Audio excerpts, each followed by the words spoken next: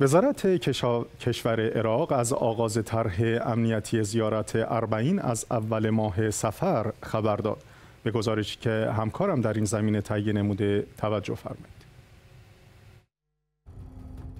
عبدالله الشمری وزیر کشور عراق و رئیس کمیته عالی امنیتی زیارت اربعین روز شنبه با صدور بخشنامه های متعددی در خصوص زیارت اربعین تاکید کرد. که طرح امنیتی زیارت اربعین از اول ماه سفر آغاز می شود. به گزارش خبرگزاری اخبار شیعه وزارت کشور عراق در بیانیه ای اعلام کرد نشست گسترده ای به ریاست عبدالامیر شمری وزیر کشور و رئیس کمیته عالی امنیت برای تأمین امنیت زیارت اربعین و مجموعه های زیرفت بدین منظور تشکیل شد این نشست در استانداری بابل با حضور فرمانده نیروی زمینی و تعدادی از فرماندهان نظامی و امنیتی فرماندهان انتظامی افسران و جمعی از شخصیتها و نهادهای پشتیبان استانهای نجف اشرف کربلا دیوانیه واسط و بابل به منظور بررسی مقدمات زیارت اربعین امام حسین علیه السلام.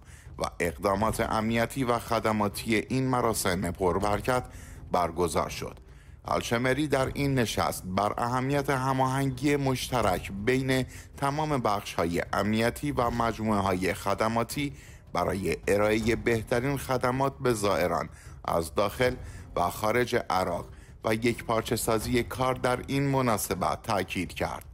وی همچنین در این نشست به تکیه بر تلاش های اطلاعاتی فشرده اشاره و اجرای برنامه های تدوین شده برای این منظور را مد نظر قرار داد.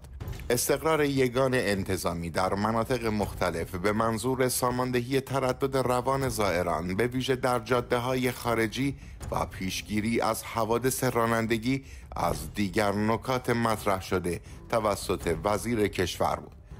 الشمری همچنین در این نشست به تشریح تفصیلی آمادگی های جاری استانداری ها و مهمترین اقدامات انجام شده برای تامین امنیت زیارت اربعین و طرحهای جایگزین برای مقابله بر چالش ها و تضمین پیشرفت فعالیت ها در سطوح امنیتی و خدماتی اشاره کرد. وزیر کشور عراق در این نشست دستور داد برگزاری جلسات میدانی و کنترل و نظارت تمامی اقدامات در دست اجرا به ویژه توسط مسئولان و فرماندهان در حوزه مدیریت آنان ادامه یابد.